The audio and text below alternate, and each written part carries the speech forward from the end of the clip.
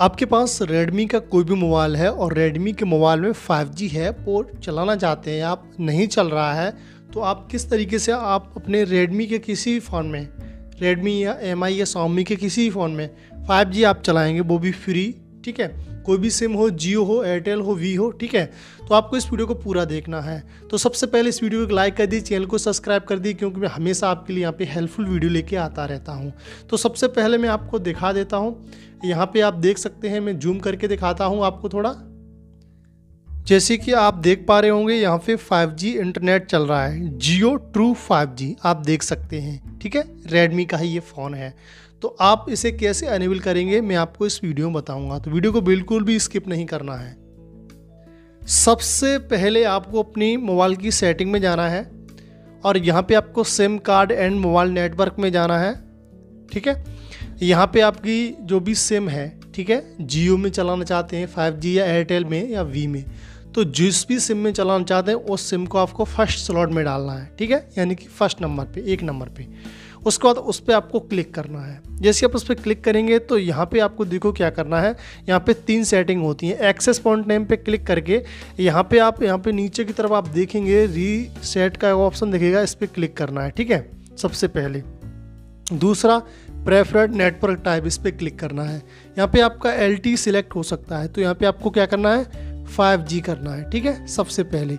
दूसरा mobile network पे click करके ये आपका बंद होगा तो इसे आप ऑन कर लीजिए, ठीक है? इतनी सी सेटिंग आपको अपनी इस सेटिंग के अंदर करनी होगी, ठीक है?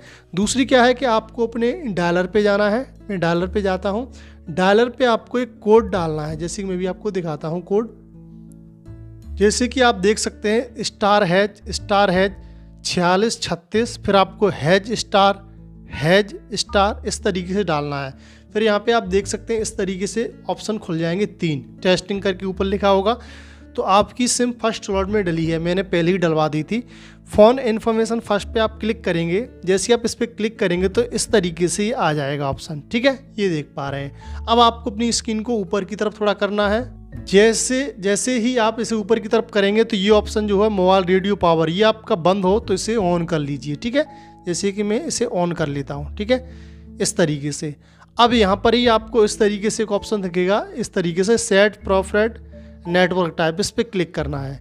जैसे इस पर आप क्लिक करेंगे तो यहाँ पे एक ऑप्शन आपको दिखेगा एन आर करके। एन आर ओनली ये वाला ऑप्शन आपको सिलेक्ट करना है, ठीक है? एन आर ओनली वाला, ठीक है? उसके बाद आप यहाँ स्क्रीनशॉट ले लीजिए, जो भी आपका पहले से था, क्योंकि आप फिर से उसे कर लेंगे तो इसे, इस, इसे आप स्क्रीनशॉट ले लीजिए इसका। तो यहाँ पे फिर आपको ऊपर करना है इसे स्क्रीन को।